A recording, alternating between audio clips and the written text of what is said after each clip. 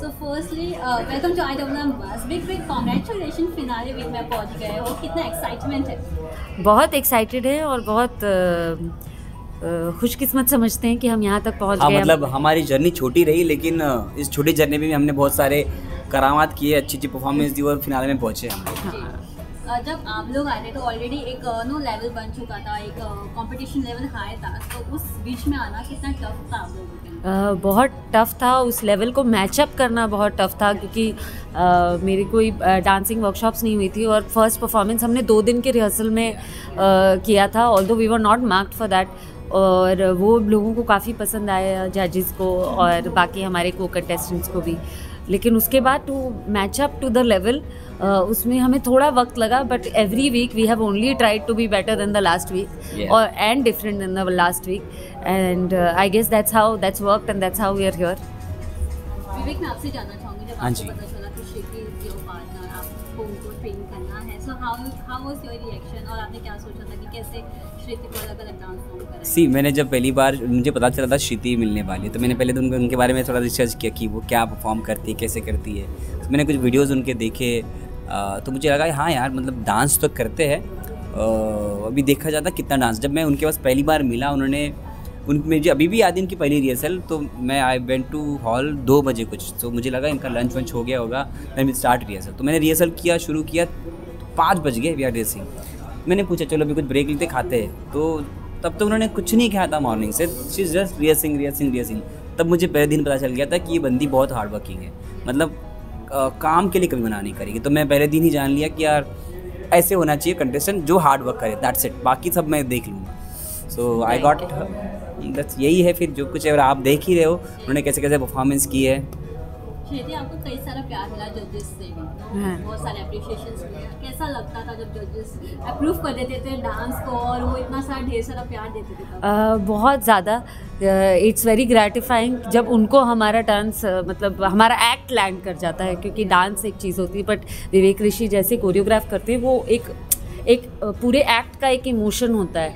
वो इमोशन जब लैंड कर जाता है वो जजेस के थ्रू ही हमें पता चलता है और बहुत अच्छा लगता है उनसे अप्रिसिएशन मिलता है।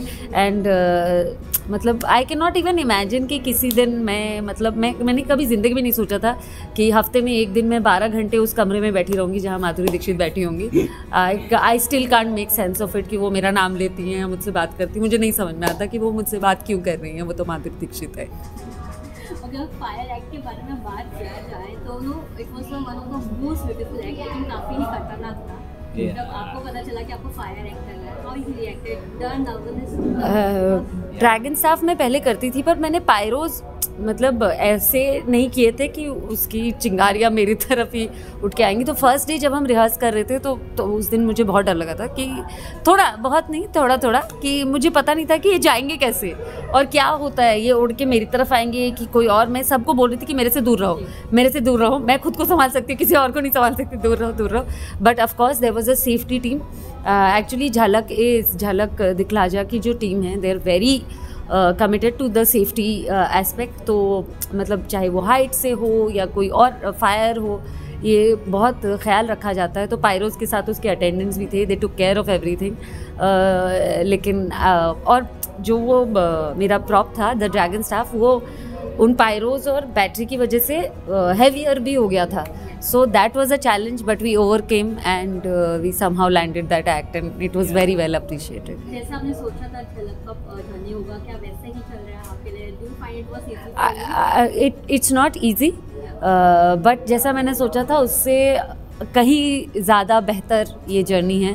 And you only find out after doing the show क्योंकि ऐसा सोचना कि आप झलक करेंगे और एक्चुअली झलक करना बहुत अलग होता है अलग एक्सपीरियंस हाँ, होता है हाँ। क्योंकि हमें हाँ, दिन ब दिन एवरी डे वो बॉडी पे डांसिंग पे हर जगह वर्क करना होता है तो उतना ही पेन होता है लेकिन एक्साइटमेंट एवरी डे होता है कि आज हमें कुछ नया करना है और हम इस बार कुछ अच्छा परफॉर्म करना है। हाँ।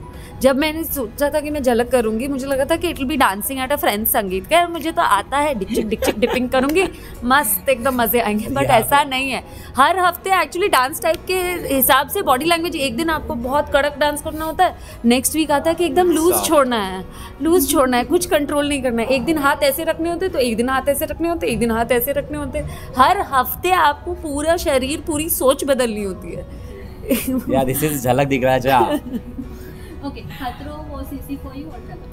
If you want to. none of it is easy why but because you doing very good हमें भी बहुत अच्छा किया हमें भी अच्छे कर रहे हो हाँ नहीं मतलब जैसे खतरों में तो बहुत डर लगता था but both I like for very different reasons खतरों I like because I made very good friends there Jhalak I love because of the kind of dancing we are doing, and of course I've made friends here also.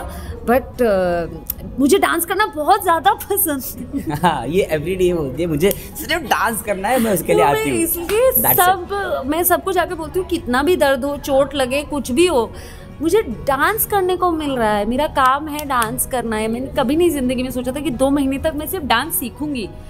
मतलब मैं हर हफ़्ते कुछ सीख रही हूँ मतलब उससे ज़्यादा फॉर्चुनेट कुछ हो ही नहीं सकता। कोई डांस फॉर्म है जो आपको और सीखना है या उसमें दिलचस्प है? सारे सारे। व्हाट सन क्या सीखना है आपको? सारे सारे सीख- सारे सीखना है हाँ, मतलब हाँ, हमें और एक झलक करना पड़ेगा और एक झलक करना पड़ेगा बट विल डू दैट तो हम पूरा सीखेंगे। ज- जैसे विवेक करते हैं वैसे करना है मुझे। वैसे करना है। वैसे मतलब जैसे वो हिप हॉप करते हैं या रोबोटिक्स करते हैं। या अभी हम जो स्टकाटो रहे Staccato कंटेम्प्रेरी कर रहे हैं उनके बॉडी लैंग्वेज जैसा करना है। कि अगर वो मुझे बोले कि अच्छा ये वाला कर दो तो मैं करके ही बता दूँ उन्हें मुझे सिखाना ना पड़े कि पाँव किधर जाना है हाथ किधर जाना ये मेरे बचपन से मतलब बचपन से मैं करते आ रहा हूँ तो आया जैसे आप एक्टिंग बचपन से करते आ रहे हो तो आप कितने आसानी से कर लेते हो वैसा ही है। बस आप रोज रोज करोगे तो ईजीली जैसे आप ड्रैगन स्टाफ करते हो मक्खन जैसा दैट्स इट सेम चीज़ आप करते रहोगे हो जाएगा सब कुछ.